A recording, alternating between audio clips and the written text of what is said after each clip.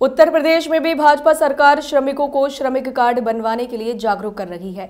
इसी के तहत हाथरस जनपद की सादाबाद तहसील में भी चौपाल लगाकर श्रमिकों को श्रमिक कार्ड बनवा सरकार द्वारा दी जा रही योजनाओं का लाभ उठाने के लिए प्रेरित किया गया।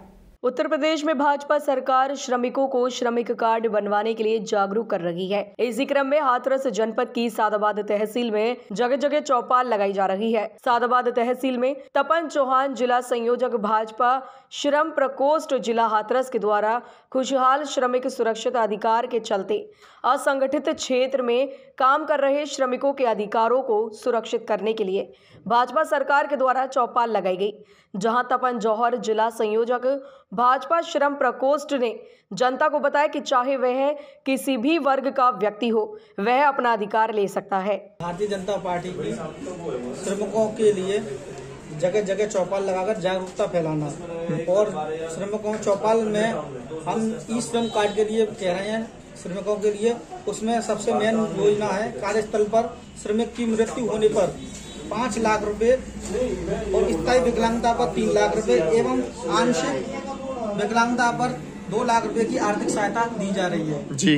ये बहुत महत्वपूर्ण है। मजदूरों के लिए श्रमिकों के लिए ये योजना। और ये निःशुल्क सेवा है निःशुल्क योजना है सरकार के द्वारा। और ये लोगों के पास हम जाकर चौपाल लगा रहे हैं उनको जागरूकता फैलाना और लोगों को लाभ दिलाना। तो जैसे कि- पहली प्राथमिकता है जी। सरकार की। जी। ये भाजपा सरकार की तरफ़ से है श्रमिकों के लिए। तो ये श्रमिक जो हैं जो श्रमिक कार्ड बनवा रहे हैं बनवाएँगे या बनवा रहे हैं उनसे उनको क्या लाभ है? मेन लाभ क्या है? बड़ा लाभ क्या है?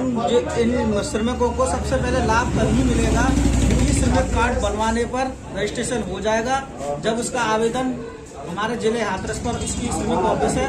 वहाँ उसका आवेदन करना है। जब इनका ये लाभ मिलेगा क्या सभी लोगों का ये श्रमिक कार्ड बन सकता है? इसमें कई तरह के लोग हैं। बढ़ाई है दर्जी है टोकरी है बुनकर है नाई सुनार लोहार कुमार हलवाई बेलदार राजमिस्त्री आदि लोगों के लिए बिजनेसमैन के लिए क्या सुविधा है? बिजनेसमैन अगर कोई अपना बिज़नेस कर रहा है नौकरी कर रहा है उसके लिए है ये सुविधा? नहीं बिजनेसों की नहीं सिर्फ़ केवल ये केवल मजदूरों के लिए। मजदूरों के लिए जो श्रमिक हैं। उन्होंने आगे कहा कि भाजपा सरकार ऐसे अधिकार लेकर आई है, जिनसे कोई भी व्यक्ति अपनी सुविधाओं से वंचित नहीं रहेगा। उन्होंने बताया कि श्रमिक कार्ड बनवाएँ और सुविधा का लाभ उठाएँ। श्रमिक कार्ड बनवाने से आपको काफ़ी सुविधा मिलेगी, जो सुविधाएँ भारत सरकार द्वारा आपको सीधे दी जाएगी।